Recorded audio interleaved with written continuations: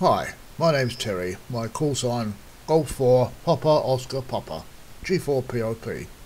This tutorial is a further confirmation tutorial to show how to do the upload and download to online logbooks, particularly EQSL and Logbook of the World. First of all, you must make sure you have your setup in the program configuration done correctly. You'll open up the program configuration, go to external services and select the ones of your choice.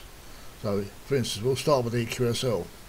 You must have your username with EQSL inserted there and the EQSL password which you use to actually enter the EQSL website and also your QTH nickname. Now you will only find this by going to EQSL, opening your profile on EQSL. About halfway down you will see nickname.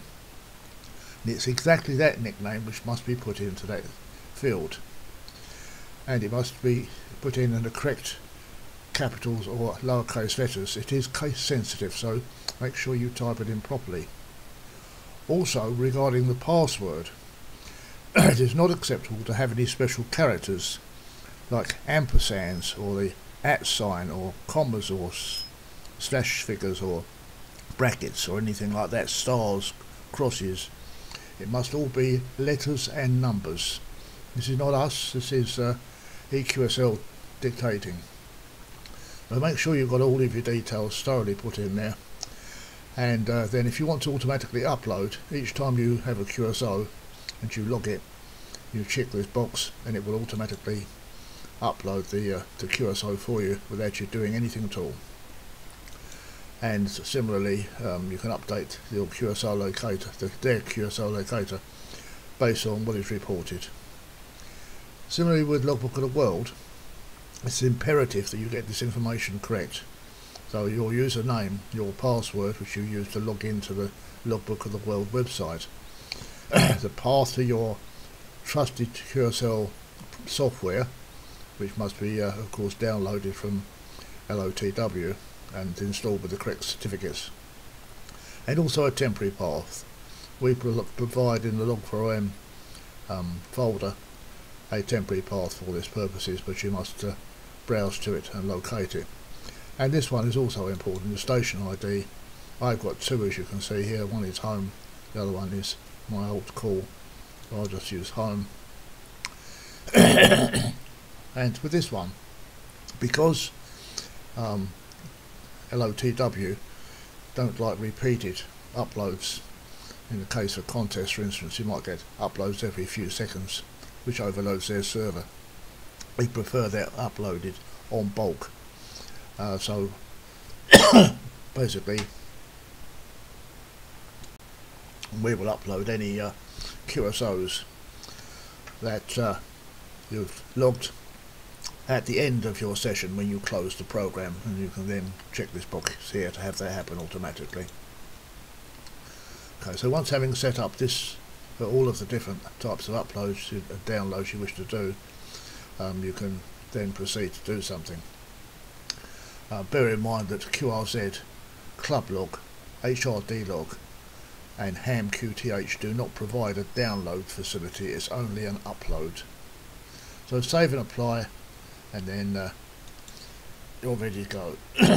now we need to go to the QSL manager and if you've watched the previous two confirmation videos you will know all about setting the uh, status of a sent um, confirmation to know or be questioned or whatever. So I won't need to go through that with you again. But we're already set up. So this time I'm going to do EQSL. And we go select required. That now finds all of the QSOs which are marked, marked sent no as far as EQSL is concerned.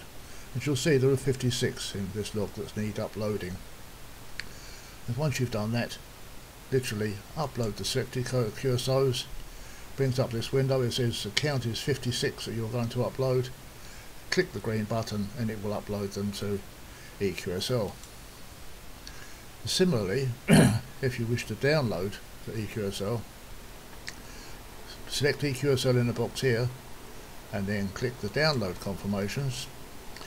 And in here give the last download dates you wish if you're doing this for the first time I suggest a very early download date probably the date of your license. But if it's a, a thing you're doing on a regular basis just leave this clicked and it will automatically put in here the date of the last upload. And uh, if you wish to also download the EQSL QSL cards the actual uh, JPEG images click this box here.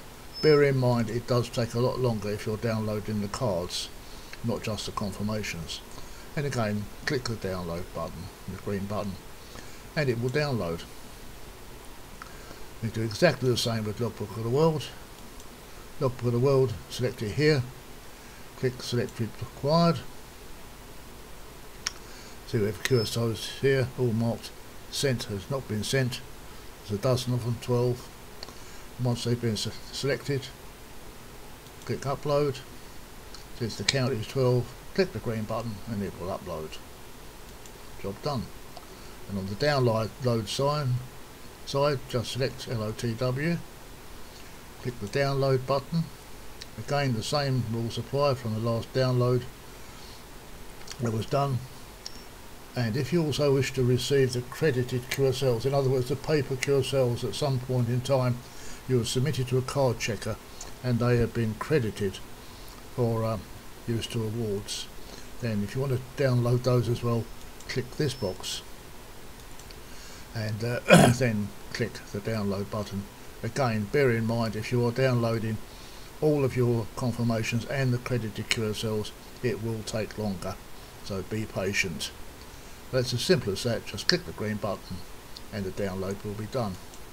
And of course as the downloads are done the confirmations will be matched to each QSO in your logbook and uh, your logbook uh, QSOs will then be marked that uh, you've received confirmation and on the date which you the confirmation was received and uh, will be credited to your uh, DXCC vault.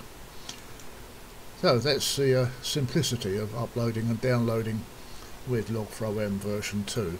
Hope you've enjoyed this video. Watch out for more. Thank you for watching.